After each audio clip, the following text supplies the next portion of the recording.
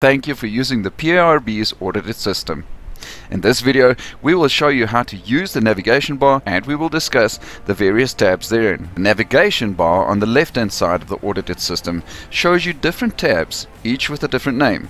These different tabs allow you to navigate to the different pages and different functionalities within the Audit-IT system. The Dashboard tab is a high-level, view-only overview of various activities and notifications of your PIRB registration profile.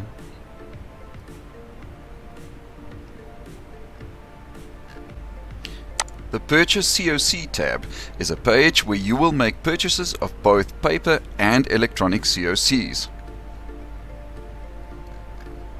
The COC Statement tab is a list that reflects all of the COCs that you may have purchased or that you may have logged. It is important to note that logging a COC will also be done from this specific page. The Audit Statement tab is a list that reflects any of your logged COCs that have been allocated for audits. It is important to note that information pertaining to the audit and engagement with the auditor will be done from this specific page. The My Accounts tab is a repository of all account transactions that you have done through the PIRB Audit-IT system, including but not limited to purchasing COCs and registration renewals. Invoices for such transactions will also be accessible on this page.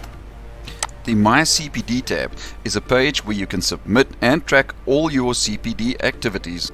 The Friends tab is a page that allows you to track and connect with other registered PIRB Audit-IT system users. Global messages that are sent from the PIRB team to all of the plumbers or all of the system users will be visible at the lower end of the navigation tab.